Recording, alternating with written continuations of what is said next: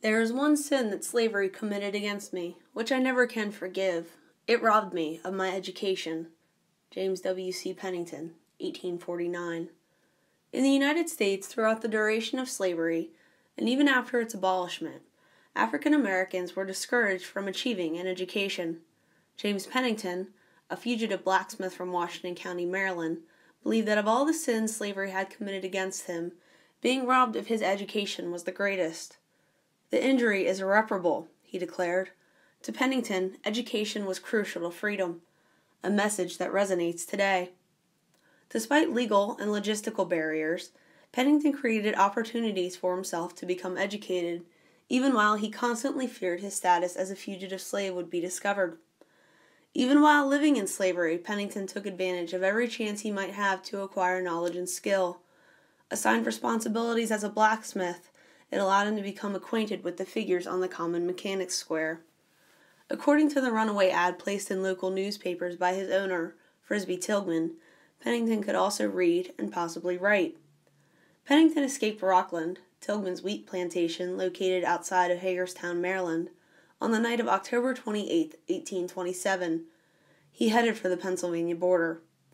Once there, Pennington received instruction from a Quaker family who asked about his education. His reflection on that moment is heartbreaking.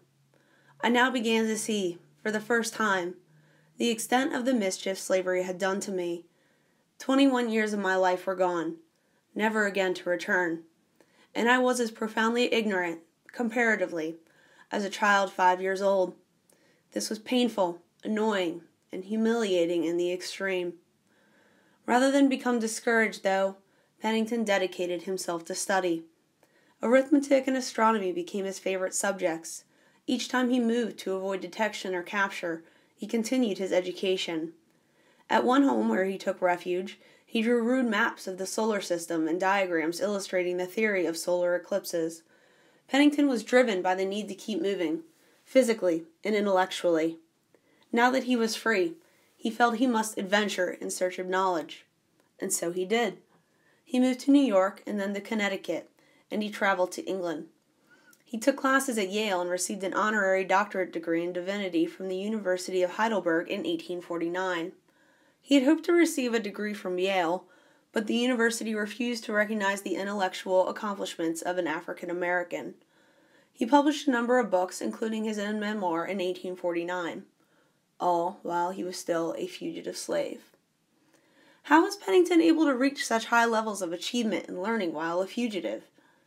He risked his life and his freedom each time he pursued education. There are many threads in Pennington's story but he believed the most important thread, holding together all of the other aspects of his life, was his determined and successful effort to become well educated. Many today take education for granted. Education requires economic and personal sacrifice. Some argue that the costs are too high. But many recognize that education is the key to freedom. Pennington fought to overcome the legal and social obstacles in his way. Slavery, after all, had committed a great sin.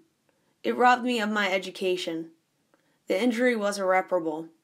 Pennington did not allow that injury to define him, and his life testifies to the value of higher learning.